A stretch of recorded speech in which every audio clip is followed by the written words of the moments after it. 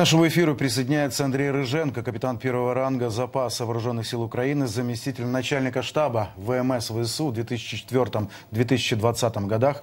Андрей, приветствуем вас в эфире. Здравствуйте. А, добрый день. Итак, корвет Гетман Сагада Иван Выговский торжественно спущен на воду 1 августа в Стамбуле. Это второй корвет, строящийся в Турции для ВМС Украины. Класс Ада. Андрей, вот давайте немного так по пунктам разберем всю эту историю, все это событие. Что такое класс Ада? Какое выражение на борту? Какие функции у этого корвета?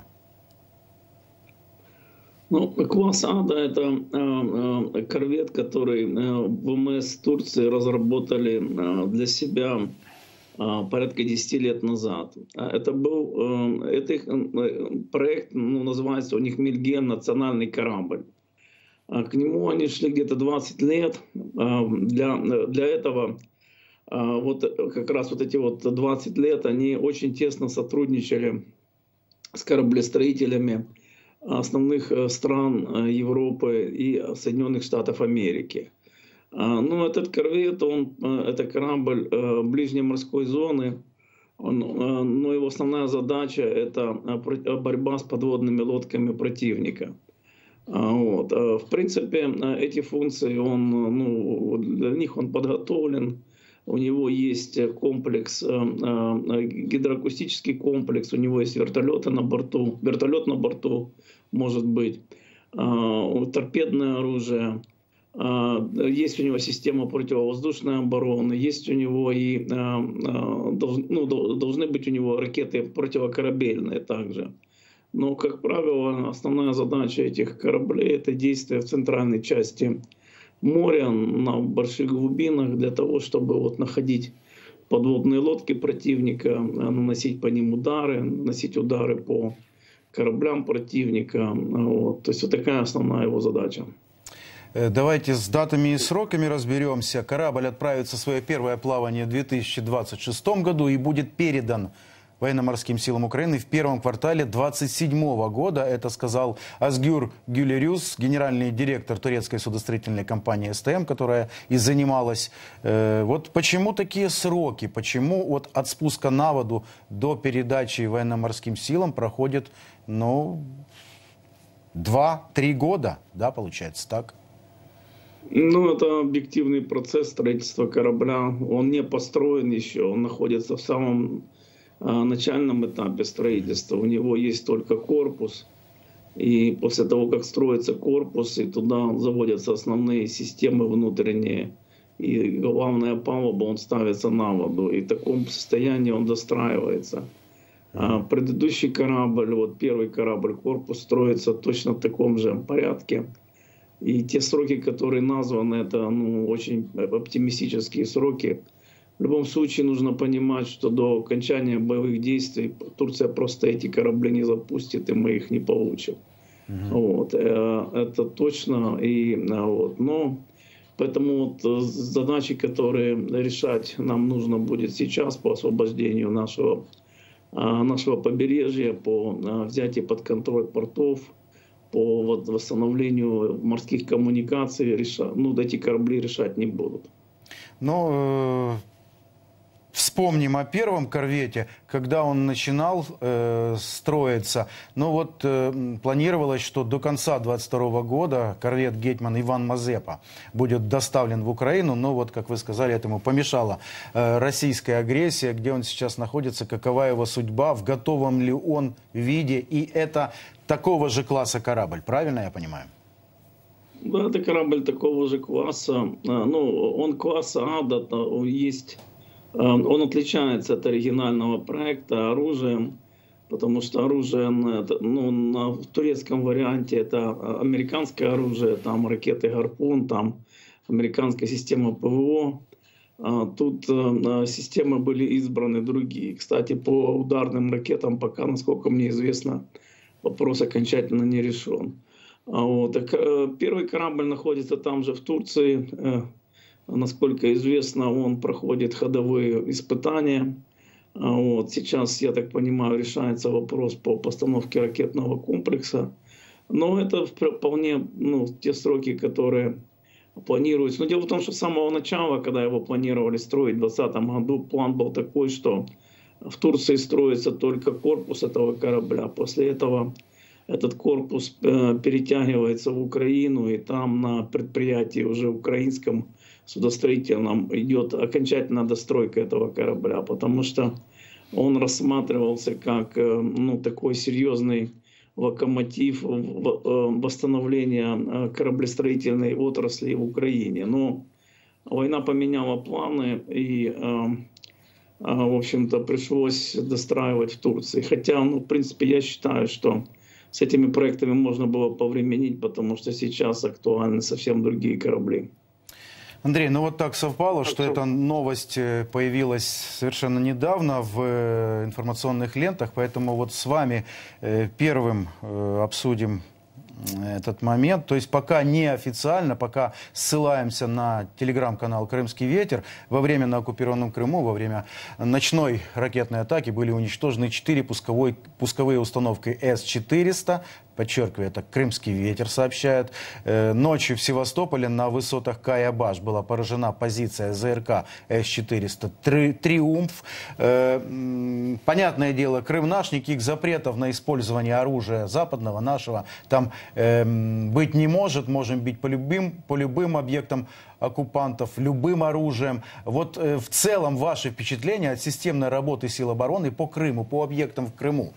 ПВО, ЗРК, пусковые установки, аэродромы. Вот, кстати, по поводу аэродромов. Как вам, есть у вас ощущение, что вот российская авиация систематически э, выбивается и может повторить судьбу Черноморского флота? Ну, э, российская авиация уже, в общем-то, частично повторила судьбу Черноморского флота, потому что после ударов ну, по основным аэродромам, тому же Бельбеку, по САКам, была информация, что ну, наиболее ценные самолеты отводились в, туда глубже на территорию России. То есть такая работа идет, ведется систематически, выявляются вот эти объекты противовоздушной обороны, выявляются скопления авиации, и туда наносятся удары. Но, как, как правило, эти операции комплексного характера, то есть вначале идет ослабление а, значит, системы ПВО на, на определенном направлении, а потом уже через вот этот вот пролом, скажем, в системе защиты а, идет атака а, ракетами, ну, различными ракетами уже по другим объектам, в том числе и по объектам, ну, по аэродромам, по пунктам базирования кораблей. Поэтому, ну, смотрим, видите, конечно, серьезный урон получают противник значит, при таком а, ну, комплексном подходе, но а, в общем, нужно так, чтобы каким-то образом мы контроль восстанавливали над, над, над вот тем же самым побережьем того же Крыма, Приазовья, вот благодаря таким ударам. Хотя, ну, хотя, скажем так, что в, в каком-либо варианте все равно такие удары, они постепенно ослабляют противника, и это придет к тому, что он потеряет контроль над этой территорией. Россия вывела из Крыма большую часть Черноморского флота, но некоторые суда все еще вот остаются в портах. Вот об этом сообщил спикер военно-морских сил ВСУ Дмитрий Плетенчук. Э, по его словам, речь идет о кораблях, которые не имеют вооружения для ведения боевых действий. Их не перегоняют в Новороссийск, поскольку там, ну, банально, уже нет свободного места у причалов. Скажите, какие функции эти плавсредства выполняют? Могут ли их задействовать военной логистике? Ну и, соответственно, они станут целями ВСУ. Ну, в Севастопольской базе там очень много кораблей. И там, насколько мне известно, вывели действительно новые корабли, которые строились вот в период после 2014 года, все их вывели сразу. А потом, когда начались такие систематические удары, особенно а, ракетами «Атакамс», вывели уже и корабли постарше, еще советской постройки, которые представляют ценность. А, но сейчас, э, насколько мне известно, в Севастополе есть и военные корабли, которые охраняют, ну, которые предназначены для охраны водного района, то есть это противоводочные корабли. есть катера противодиверсионные, есть суда обеспечения. Естественно, все они принадлежат Черноморскому флоту и все могут быть целями для нанесения удара. Там же, кстати, в Севастополе находятся на ремонте а, ну, где-то несколько десантных кораблей, которые мы поразили. А, ну, и подводная лодка Ростов-на-Дону, хочу напомнить. То есть, в принципе, все эти кораб цели, все это военные корабли, они ведут против нас, они могут быть уничтожены. Э, Россия усилила деятельность в порту Ачамчира в Абхазии. Спутниковые снимки, проанализированные аналитиками Беллинкет, показывают, что с начала года там ускорилось строительство, возводится множество зданий по периметру. И причем э, в СМИ говорят об этом объекте не как о новой базе, как в Новороссийске, а как вот о, об убежище для Черноморского флота. Что вы можете сказать по этому поводу? Насколько Ачимчира такой значимый объект для флота Черноморского? Ну и, я думаю, немаловажно напомнить, что Ачимчира – это временно оккупированная Россией территория Грузии. Ну, мне кажется, что сама Чемчира более интересна а вот, э, вот, вот, э, вот этой временно оккупированной территории, потому что это вариант им как получить заказы из, из, из правительства Российской Федерации и ну, э, значит, предоставлять услуги по аренде этой базы. Сама база, она небольшая, ей уже фактически 100 лет, это искусственно выкопанный водоем, там может быть размещено порядка 10 небольших кораблей класса а, легкий корвет э, тральщик. Но находится она очень далеко от, э, ну, от операционной зоны ведения боевых действий сейчас э, ну, против, против нас. Поэтому если сюда выведут корабли, то они выходят фактически на отстой. Вот. Но какая-то часть этих ну, действительно кораблей туда может быть выведена, но чтобы массового какого-то исхода туда. Об этом я не знаю, тем более, что там может быть очень незначительное количество кораблей поставлено. Хотя работы действительно там активизировались, но это больше для того, чтобы, я так думаю, э, ну, каким-то образом усилить вот эту вот усилить контакты Российской Федерации с, с оккупированными территориями Грузии, а не больше.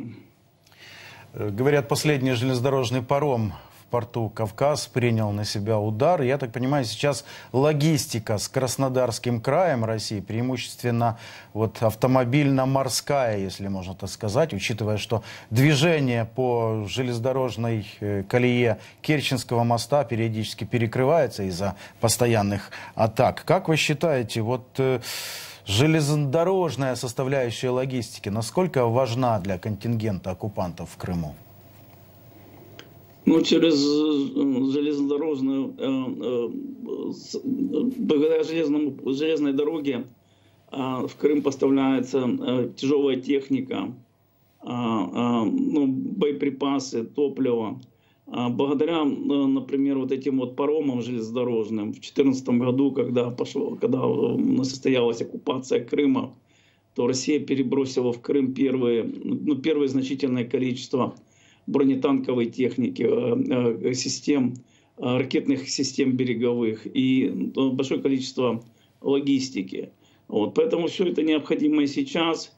Действительно, после, вот, после первого подрыва Крымского моста они старались больше использовать вот эти паромы, которые действительно могут ну, перевозить серьезное количество грузов. Хотя периодически и, мост они крымские также использовали. Но сейчас, насколько известно, по вот этому коридору Приазовскому там строится железная дорога. Э, и э, какая-то часть грузов будет перевозиться там. А, ну, то, что э, вооруженные силы Украины несли удар по порту Кавказ, естественно, сковывает их логистику и заставляет их искать другие пути. И, естественно, это негативно влияет на боевую готовность того, той группировки, которая находится в Крыму. В России на днях отметили День военно-морского флота с парадами военных кораблей, концертами, салютами. В этом году торжества прошли в усеченном виде. В Новороссийске были отменены вообще все праздничные мероприятия. В Санкт-Петербурге отказались от кронштадтской части парада впервые за 8 лет. В аннексированном Севастополе парад вообще не проходит с начала полномасштабного вторжения в Украину. Вот ваши впечатления, если сравнивать предыдущие годы от этих торжеств?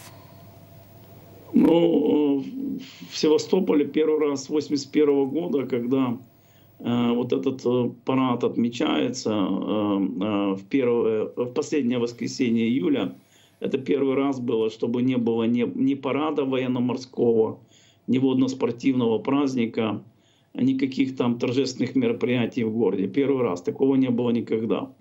А вот. Э, э, Все это связано с, ну, с тем, что, в принципе, они осознают, что если они вот так красиво поставят свои корабли вдоль бухты Севастопольской, то они будут атакованы.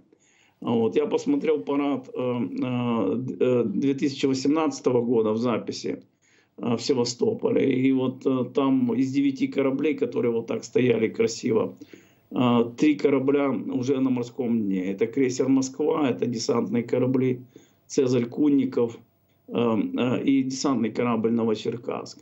Вот.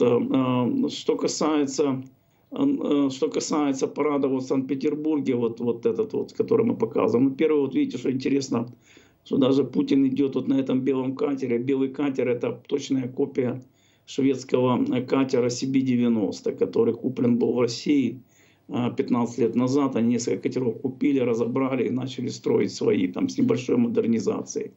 В параде принимали корабли небольшого класса, небольшого класса, построенные в самом лучшем случае где-то там, может быть, 5-10 лет назад. Но опять же, это не новые какие-то проекты, а модернизированные советские проекты, э, на которых, ну, единственное новое оружие это вот эти ракеты «Калибр».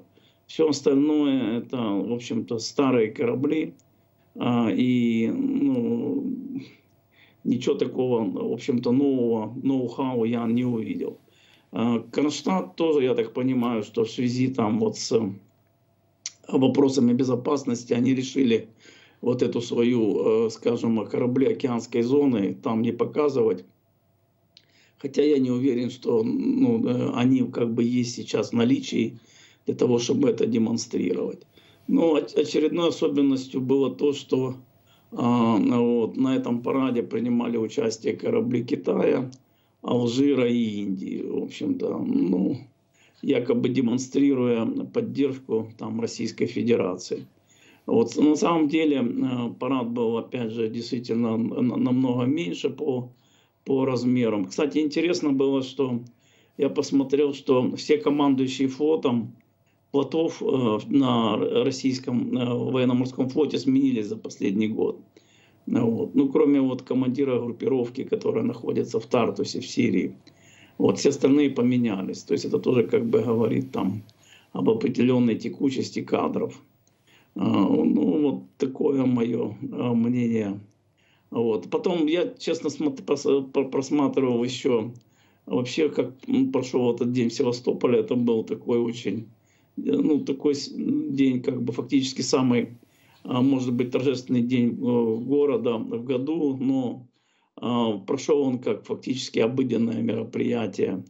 Это то, что дала эта война а, России и ее флоту. Спасибо за этот э, детальный анализ парада торжеств в кавычках. Андрей Рыженко, капитан первого ранга запаса вооруженных сил Украины, заместитель начальника штаба ВМС ВСУ в 2004-2020 годах, был на связи с нашей студией. Спасибо, Андрей. В телеграм-канале Freedom только самые важные новости. Мы оперативно сообщаем обо всем, что происходит в Украине и мире. Подписывайтесь.